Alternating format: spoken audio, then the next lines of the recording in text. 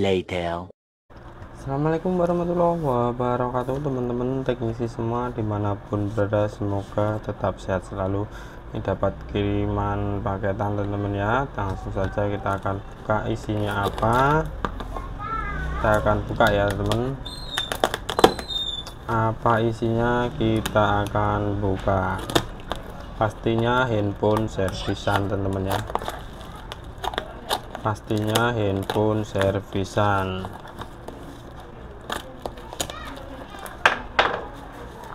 Kita buka isinya apa? Nah kita buka.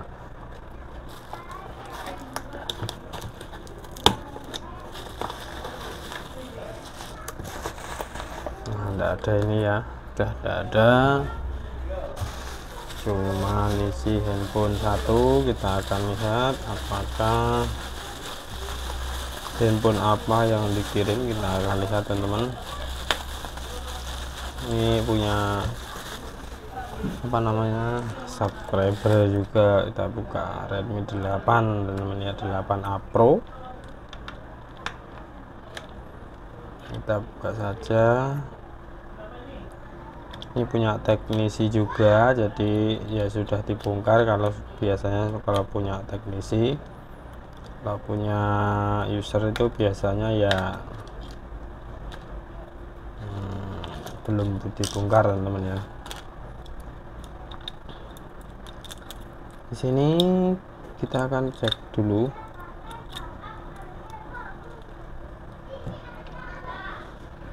Nah ternyata sudah tidak ada semua ya CPU sama MMC nya langsung saja kita akan ganti satu paket. Saya punya cabutan satu paket jadi kita akan ganti satu paket. Punya Redmi 8A Pro juga teman-teman ya. Langsung saja kita akan ganti satu paket. Nah teman-teman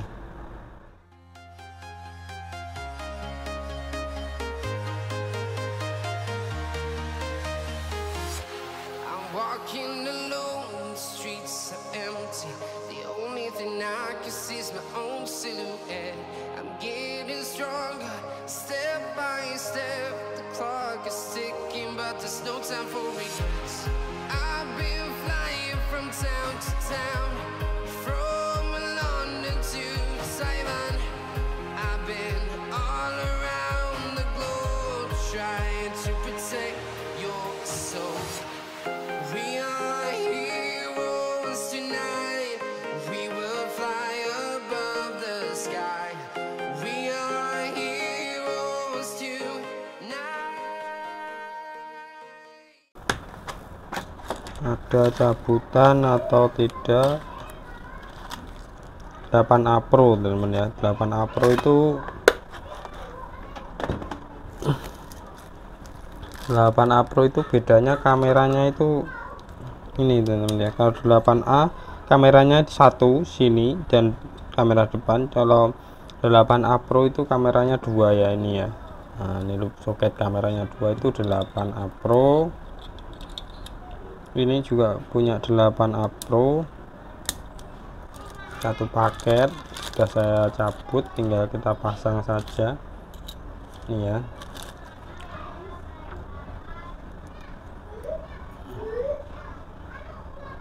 Ini sudah saya cabut dan saya cetak ulang tinggal pasang saja ini teman ya ini kita akan langsung saja kita akan pasang ya CPU nya terlebih dahulu.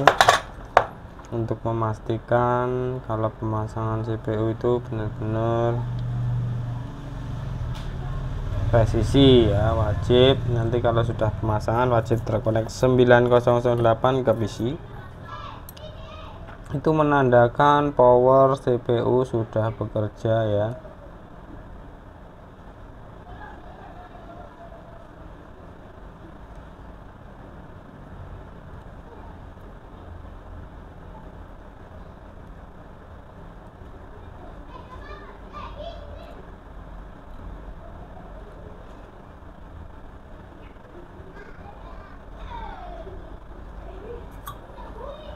langsung kita akan pasang set 380 panasnya anginnya 35 sudah cukup untuk oke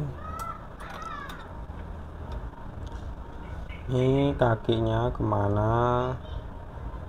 Titiknya di sini ya juga kita ikuti titiknya di sini ya. Nah ini ke atas titiknya di sini. Menghadapnya intinya di sini ya teman seperti ini tinggal presisikan saja pemasangan.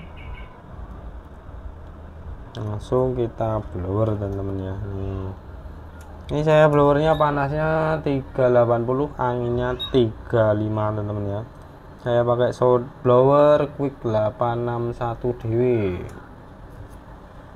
nah tinggal blower saja seperti ini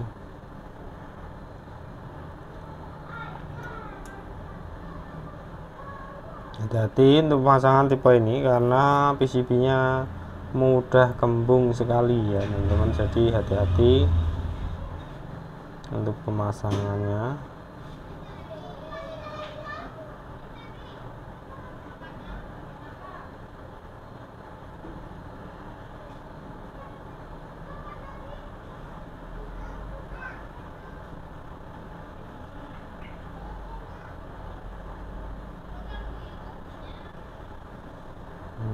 pemasangan sudah timah sudah bisa meleleh kita akan goyang pelan-pelan ya. Biar kaki yang belum bisa menyatu itu bisa menyatu dulu ya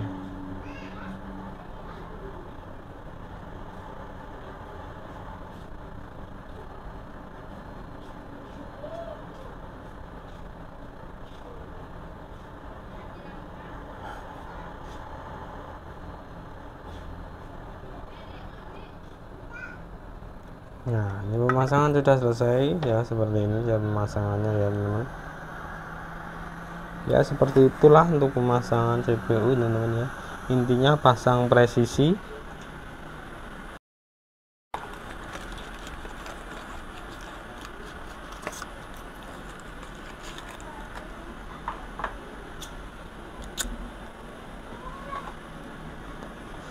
ini wajib kita colok PC nanti wajib terkonek 908 ya. Itu tandanya untuk menandakan CPU dan IC power dan lain sebagainya itu sudah bekerja lah intinya teman-teman ya.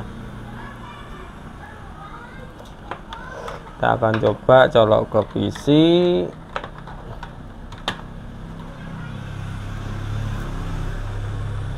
Kita tunggu sampai dingin nanti kita akan coba colok ke PC. Apakah bisa terkonek 9008 ya teman.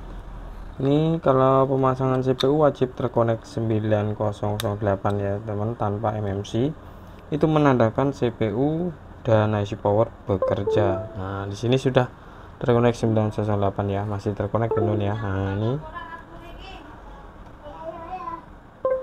Nah itu masih terkonek 908 tinggal kita pasangi MMC nya teman ya sekarang proses pemasangan MMC ya teman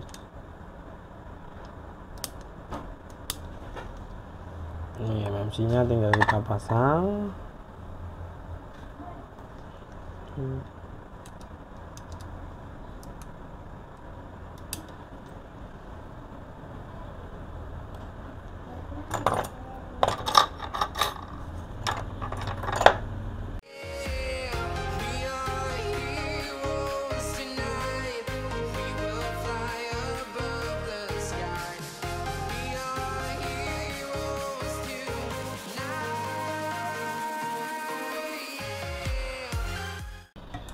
Pemasangan sudah selesai dan kita akan coba apakah handphonenya bisa hidup atau tidak. Kita akan lihat bersama-sama teman ya.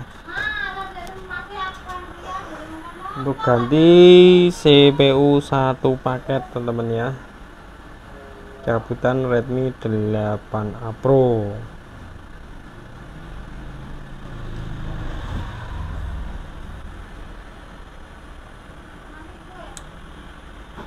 nah sekarang kita akan coba kita sudah dingin ya.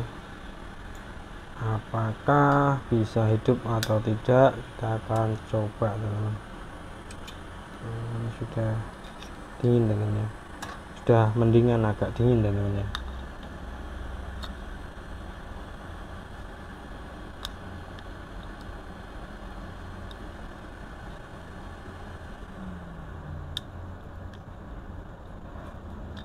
coba hidupkan apakah bisa hidup handphonenya?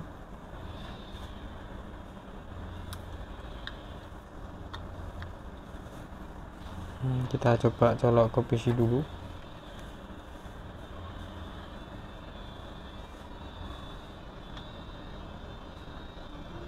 Masih panas teman-teman ya. Coba saya pakai charger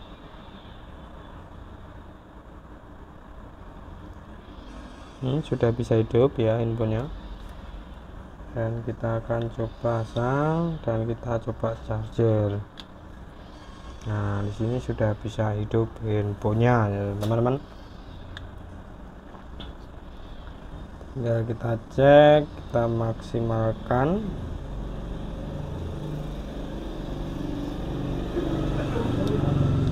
Sini sudah bisa hidup handphonenya ya teman-teman tinggal kita tunggu saja sampai masuk menu. Nah kita hidupkan dulu ya.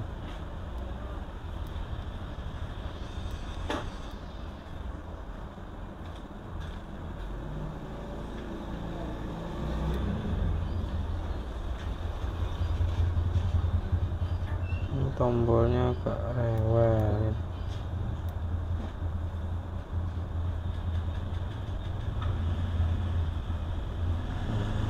kita akan lihat dia bisa masuk menu atau tidak ya.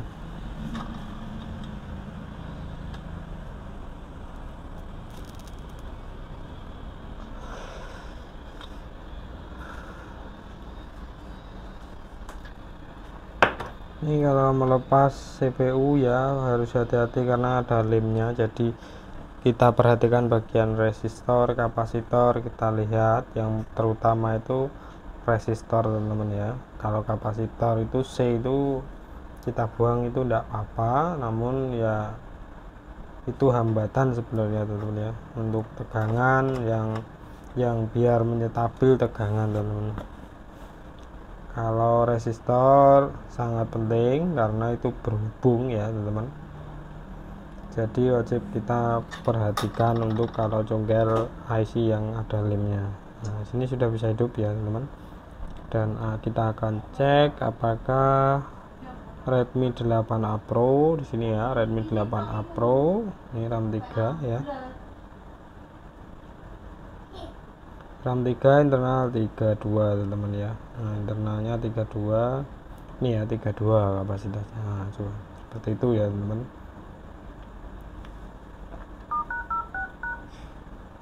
Ya